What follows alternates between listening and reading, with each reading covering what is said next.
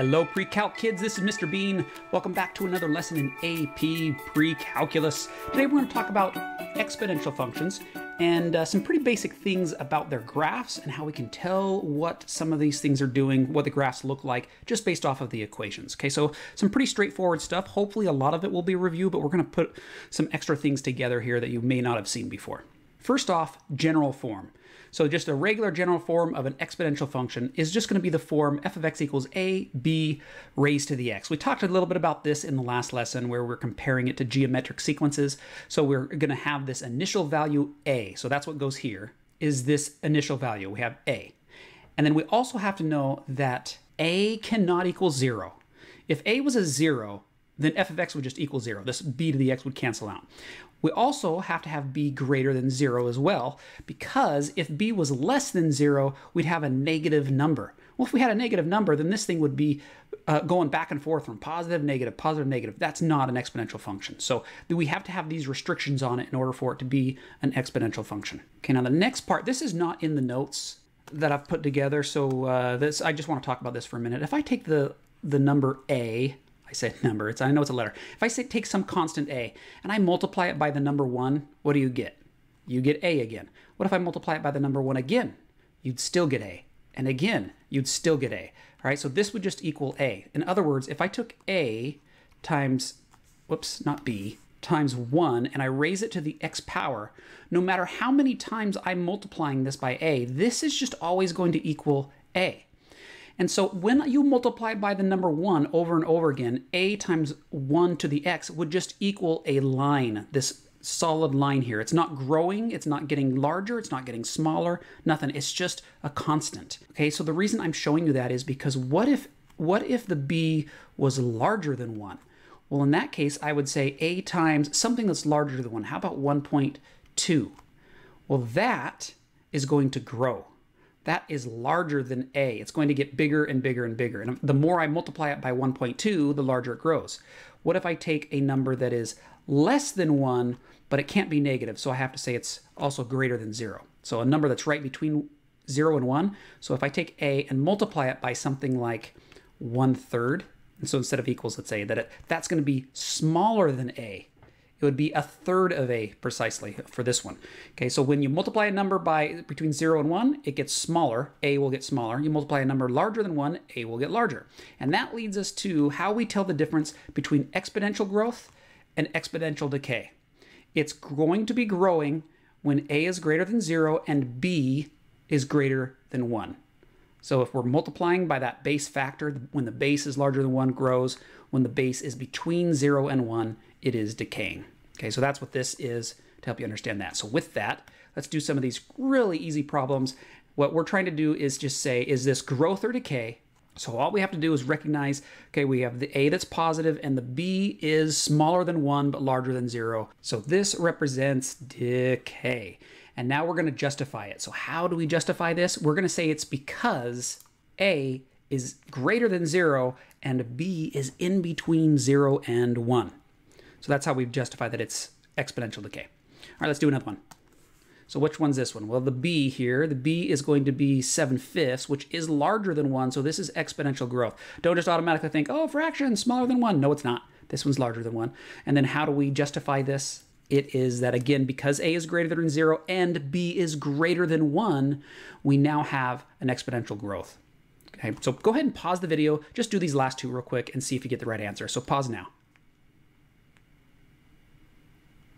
And there's your answers. This one's decay, this one's growth, and you've got your little justification statements there for you. All right, so pretty simple for those problems that you'll see in the practice. The next one, we're to examine 3 times 2 raised to the x. So here's our exponential function. What are we doing to the initial value of 3 if we input a 5? So when we plug a 5 into this x right here, what happens? Well, that means 5 goes there, and that really means that there's 5 2's. So we're just going to say 3 times 2 times 2 times 2 times 2, 5 times. Okay, so those, those twos. So what we're going to do with these problems is we're going backwards, the other direction. We're going to start here and come up with what the function was. So if I have 4 times 4 times 4 times 1.5, what is the function? Well, the function is going to be, I have this 1.5 and I'm multiplying it by 4 three times. So that gives me a 1.5 times 4 raised to the x, and then I say that the x is a 3. That's how we do these types of problems. Okay, so we, we recognize which one is or we, is the initial value and which one is the base that we're multiplying by over and over. All right, so with that, go ahead and just pause the video real quick, do number six. Let's see if you get the right answer. And you should have 3.2 times 0.8 raised to the x. So the base is 0.8 because the 0.8 is what was repeating. We are multiplying it multiple times, in this case, particularly two times. So this is how we'd represent this output value of 0.8 times 3.2 times 0.8. Okay, next part. On our notes, we're gonna try to sketch some graphs with these characteristics going on. So if the base is greater than one, and A is zero, what does the sketch look like? Just, and we're talking about a basic sketch, okay? So just kind of draw something here that would represent, you should be able to do the first two, this first line here, because we've already practiced that. And then do it for when A is negative. What do you think the graph would look like? So if you're not too sure, do this in pencil and just give it a shot and see what you come up with here. And uh, pause the video. And here are those graphs. So we did these first two. We had where b is greater than 1, it's going to be exponential growth. Here's exponential decay. But then when a is less than 0, things change a little bit because you'd have an initial value that is negative, and if b is greater than 1, that means it's going to become more and more negative as the x values increase. As the input values get larger, this will get more and more negative. Okay, so it's just this one flipped upside down. And then here, if the uh, it's a, the same idea, we start with a negative value, an initial value that's negative, so a is less than zero, and then it's going to decay. So it's not going to be as negative, it's going to go closer and closer to zero. Not actually get to zero, but get really close to it as you travel out. All right, so now this is really important to understand these four because these four are the shapes of all exponential functions. All exponential functions are going to look like one of these four. It might be shifted up or down or translated and all that different stuff, uh, maybe stretched, but it's going to be one of these variations. So what are the characteristics we can say about this? So our characteristics are these things here. The graph is always going to increase or always decrease. So let's take back and take a look at this. Look at this graph here. We're starting here as we move to the right, it's all it's going up. Here we start to, on the left side, we move to the right, it's then going down. Even here, it's still decreasing it's not decreasing as much. It's getting barely, barely, barely decreasing, but it still is decreasing, getting closer and closer to zero. And then here, this one's decreasing, obviously, but then this one, or uh, yeah, this one is increasing. It's increasing more and more and more. It's getting closer to zero, but it's still going to be increasing as you travel to the right as x values increase. Okay, so that's what this is here. It's always going to increase or decrease. In other words, we don't have extrema. It's not going to turn around. The only extrema you'd have is if you had a closed interval, like from point A to point B or something. All right, next, the graphs are always concave up or concave down. So take a look at them. These graphs, see that? Concave up, concave up. These ones down here, concave down, concave down. So you're not going to have a change in concavity. Okay, so the first one is increasing or decreasing. The next one's concavity. It's not going to change. And that just means we don't have inflection points. Okay, so no inflection points to worry about. And then this last part is uh, kind of taking this first one, increasing or decreasing, you're going to have only three answers to the end behavior. As you go, as x approaches either positive infinity or negative infinity, that's what this means when we say plus minus. You can say if you go off to the right or off to the left, what is the graph doing? So the left side here, the y value is approaching zero. Here, the y value is approaching positive infinity. Okay, so here, left side positive infinity, right side is approaching zero. And so what's happening is you're always going to have one of these three answers for your end behavior. The y value is either going to be going up, it's either going to be going down forever to negative infinity, or the y value is going to get arbitrarily close to zero, just get closer and closer and closer to zero. So that's what's happening here. As the left side would be getting really close to zero, the right side here would be getting really close to zero. Okay, so that's what we're doing here with end behavior. So the types of problems you'll see for this will be like this. So let's take this exponential function and we're just going to be able to answer these quick four questions here. In order to do this, my recommendation is just draw yourself a quick little graph. So we have initial value of 5, and then this is decaying. So you have a positive a value, and it is decaying. So the graph is going to look something like this. I would draw that because then it makes this much easier. Is the function increasing or decreasing? So as, as you move from left to right, the function is going to always be decreasing.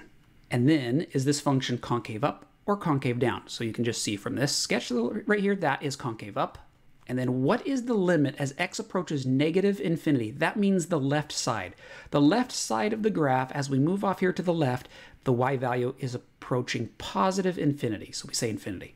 And as the limit of the x value approaches positive infinity, so the right side, what's happening to this graph? It is approaching zero.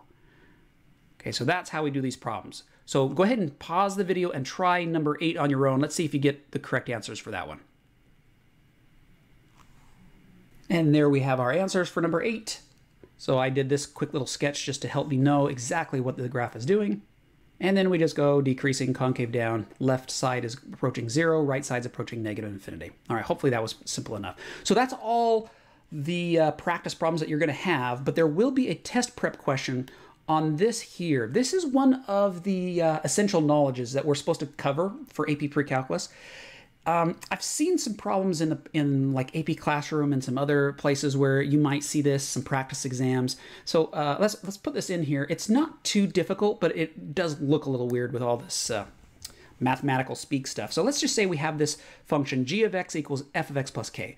Really what this is just saying is we're going to take some function f and we're adding something to it. So we're take some function f and we add k. So it's going to shift it up or down. And the result is a new function that we create, which is g.